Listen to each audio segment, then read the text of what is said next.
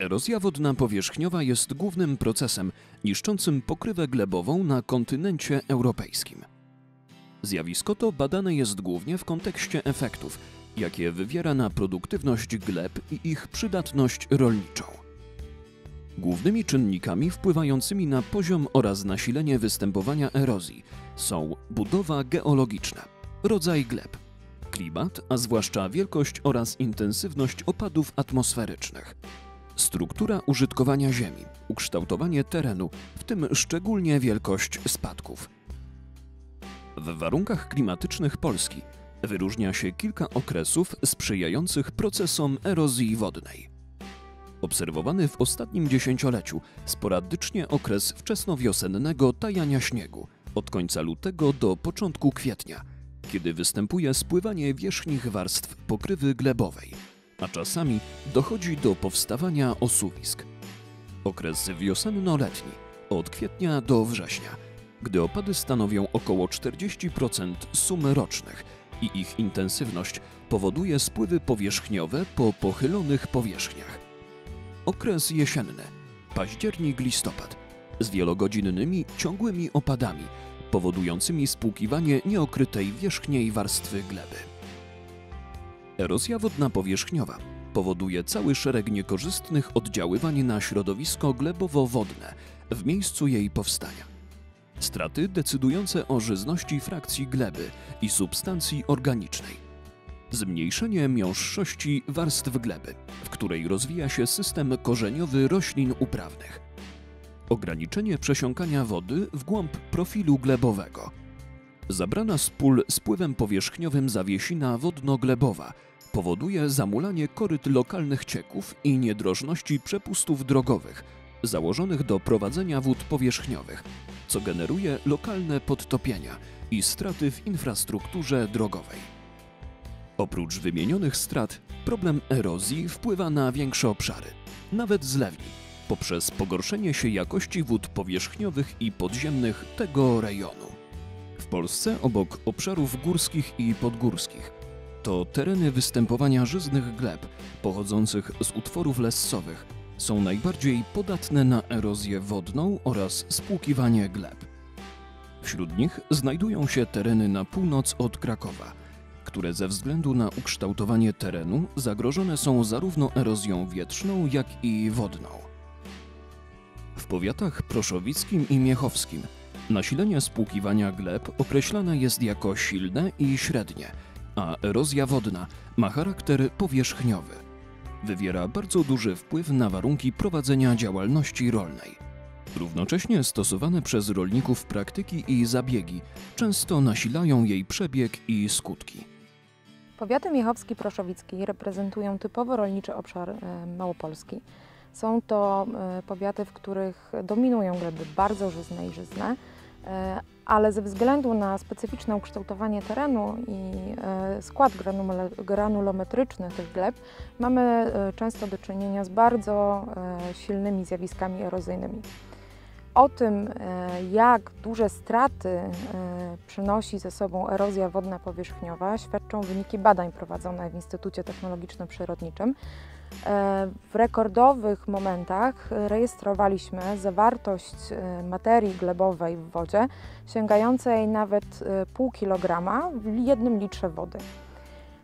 Badania, które prowadziliśmy w zlewni Szreniawy pokazują, że mm, najważniejszymi elementami, które wpływają na wielkość erozji wodnej powierzchniowej są ukształtowanie terenu e, oraz rodzaj uprawy, jaką rolnik e, stosuje na danym polu. Znajdujemy się na gospodarstwie położonym gmina Koniusza, jest powiat proszowicki. E, gospodarstwo jest o powierzchni około 9 hektarów. Uprawiamy głównie warzywa, tak, kapusta biała, włoska, czerwona. Erozja gleby jest dużym problemem na naszym terenie, tak widać przez ukształtowanie, jakie mamy. Można z tym walczyć, ale to jest bardzo problematyczne. Tak przy dużych e, spadkach można po prostu e, uprawiać e, ziemię w poprzek. Wszystkie zabiegi agrotechniczne po prostu robić w poprzek, tylko że dział, większość działek jest podłużna przy nachyleniach, więc to jest bardzo trudne technicznie pod względem maszynowym, czy po prostu do uprawy, bo wtedy jeździmy po bardzo krótkich odcinkach, zagniatamy tą glebę. Są e, cały czas straty i w paliwie, i w czasie, i w tym wszystkim. Można też e, obsiewać pola, e, tak zwane poplony. Jest to związanie gleby, po prostu e, roślinki, które sobie rosną, wiążą tą glebę i duży nawałny deszcz nie wypukuje ziemi, nie spłukuje. Tak, u nas też e, na dole jest e, łąka, taki tak zwany bufor. Ta ziemia nie spływa wszystko do rowów, nie spływa po prostu do rzek, tylko zatrzymuje się tam, więc troszeczkę się teren wyrównuje. Ale to też jest w miarę jakimś tam ograniczeniem. Wspólnie z mężem prowadzimy gospodarstwo rolne od 2002 roku. Obecnie gospodarujemy na 180 hektarach. Nasze gospodarstwo specjalizuje się w produkcji roślinnej. Są to kukurydza, zboże, buraki cukrowe, y, rzepak oraz warzywa y, takie jak marchew, pietruszka, burak, y, ćwikłowy, bób i ogórek. Erozja wodna w naszym gospodarstwie z roku na rok jest y, coraz większym problemem. Najbardziej odczuwamy to w uprawach warzyw, y, ponieważ w redlinach y, woda wypukuje składniki y, pokarmowe y, i nawozowe, y, materię w ogóle y, i materię organiczną. Y, W uprawach zbóż y, w znacznym stopniu możemy zapobiegać y, tejże erozji, stosując okrywę zimową, natomiast w uprawach warzyw jest to niemożliwe ze względu na duże straty ekonomiczne w gospodarstwie. Gdy, gdy mamy bardzo duży opad deszczu w krótkim czasie, więc praktycznie to, co zostało zasiane, y, jakie nawozy, zostaje spukane. A wiadomo, że brak składniku pokarmowego w danej roślinie nie w, y, wpływa na jej wzrost, rozwój i, i później no, efekt y, sprzedażowy, czyli jeśli ta roślina nie będzie dobrze wykształcona, y, ładna, dobrze wyrośnięta, więc y, no, nie będzie z tego korzyści finansowych. Ziemie w gminie Proszowice są jednymi z najżyźniejszych w Polsce. Są bardzo intensywnie uprawiane, wykorzystywane rolniczo i e, mamy też nachylenia. Na płaskowyżu proszowickim te nachylenia są czasami większe niż 12% i w związku z tym e, przez intensywną uprawę rolniczą, głęboką orkę, zmianę rodzaju upraw, e, co roku zmagamy się z problemem eroz- erozji glebowej. Zwłaszcza tam, gdzie są nachylenia, gdzie są uprawy w redlinach, na przykład marchewki, ziemniaków, e, to bardzo dużo tej ziemi niestety spływa e, do przydrożnych rowów, na jezdnie e, i ponosimy spore koszty, aby odmulać drogi, odmulać rowy, naprawiać infrastrukturę.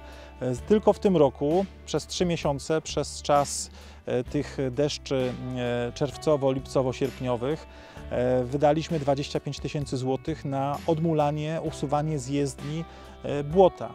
To błoto jest uciążliwe, bo e, się kurzy, kiedy wysycha. Nie da się go e, zabierać, kiedy jest jeszcze e, mokre, bo wyciekałoby z przyczepy samochodu. Stanowi zagrożenie dla kierowców, utrudnia pieszym e, przejazd. Także jest to sytuacja dla nas wszystkich kłopotliwa.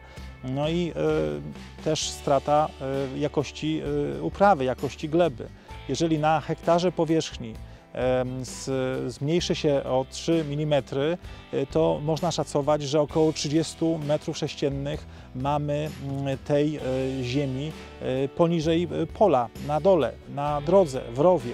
To jest ciężarówka dobrej, żyznej ziemi, którą trzeba gdzieś potem pozbierać i wywieźć. Mm, Byłoby może dobrze wprowadzić takie rozwiązanie, żeby właśnie w miejscach, gdzie są, te duże nachylenia, duże spadki, był pas tak zwanego uwrocia, pas wyłączony z produkcji rolnej, pas trawy, pas mm, zboża, e, który by zatrzymywał spływ tej ziemi, spływ tej wody. Można by nawet pomyśleć o tym, żeby wyłączyć e, z podatku gruntowego, z podatku rolnego ten pas ziemi, e, żeby rolnik nie miał straty z tego, że nie wykorzystuje tej, tej ziemi, e, tego fragmentu swojego gruntu. Natomiast koszty, które co roku ponosimy na właśnie odmulanie rowów, odmulanie jezdni, naprawę infrastruktury są bardzo wysokie. Można szacować, że od 70 do 140-150 tysięcy złotych w roku wydajemy na odmulanie, usuwanie namulisk wysysk z poboczy, na odnowę przepustów, na akcje powodziowe, na mm, e, wszystkie rodzaje prac e, transportowych, budowlanych, odnowienie przepustów, czy, e, czy skarb, czy, czy, czy rowów. Także jest to bardzo poważny problem i wydaje mi się, że sami rolnicy w niektórych miejscach już dojrzewają do tego, że tracą jakość swojej gleby i na przykład rezygnują na jakiś czas z uprawy na wysokich nachyleniach, tak jak mamy tutaj przy przypadku Rzębocina. Do niedawna proszowice stały między innymi burakiem cukrowym, tytoniem. Teraz e, ten tytoń uprawiany jest w nielicznych gospodarstwach. Burak cukrowy to dosłownie na palcach jednej ręki. Coraz mniej jest krów, nie ma już praktycznie poza hobbystycznymi przypadkami stadnin e, czy koni e, pociągowych, koni domowych.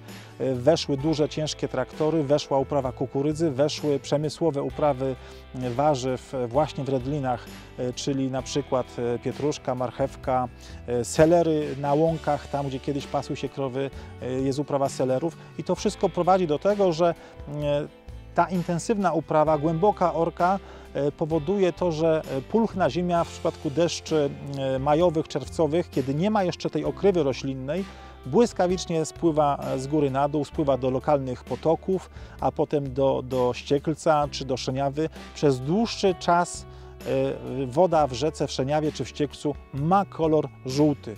Żółta rzeka jak w Chinach, dlatego że niesie ten les żyzną, tą glebę, ten materiał nie ma czystej, ładnej wody. Mamy z tym również problem na ujęciu wody w Opatkowicach, gdzie na jakiś czas musi się zatrzymać produkcja, pobieranie wody ze ściekca, bo niesie materiał, bo niesie ziemię. Muszą być uregulowania mm, przepisów, e, wsparcie dla całego e, terenu tutaj na północ od Krakowa, od, na północ od Nowej Huty, gdzie mamy bardzo żyzne ziemie również w gminie Kocmyrzów, czyli Gołomia, Wawrzeńczyce i też ten problem tej erozji gleb e, aż pod Miechów występuje.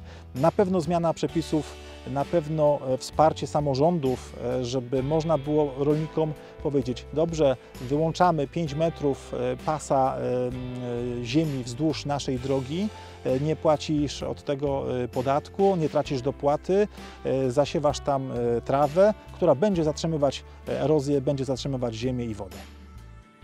Przy dużych spadkach terenu oczywiście intensywność erozji jest znacznie większa, ale mm, to głównie uprawa ma tutaj decydującą rolę.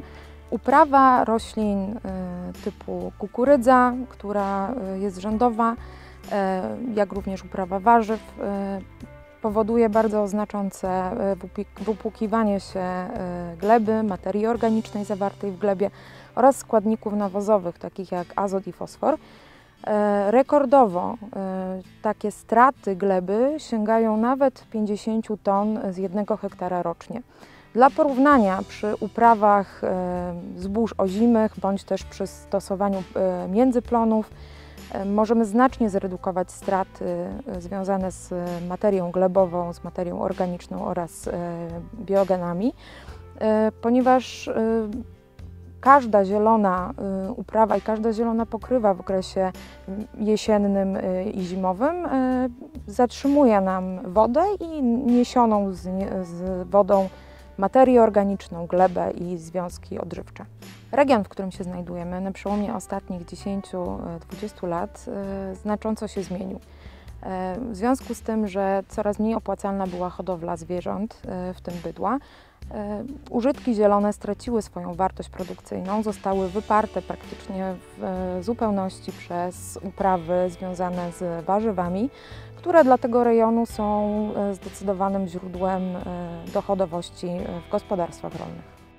Pracownicy ośrodków doradztwa rolniczego służą pomocą w pozyskiwaniu środków związanych z podejmowaniem przez rolników zobowiązań pośrodowiskowych, które przyczyniają się między innymi do zmniejszenia intensywności erozji. Stymulacją do rozwiązywania problemów z gospodarką wodną w ujęciu regionalnym są inicjatywy takie jak lokalne partnerstwa do spraw wody. Program Lokalne Partnerstwa do Spraw Wody zakłada utworzenie w każdym powiecie na terenie kraju partnerstwa, które będzie pilotowane przez wojewódzkie ośrodki doradztwa rolniczego, w tym Małopolski Ośrodek Doradztwa Rolniczego. Doradcy rolniczy pracujący w powiatowych zespołach doradztwa rolniczego zajmują się pomocą rolnikom w aplikowaniu o środki pochodzące głównie z programu rozwoju obszarów wiejskich. Są to środki na przykład, które służą modernizacji gospodarstwa, środki proekologiczne, czy ewentualnie środki związane z dopłatami środowiskowymi.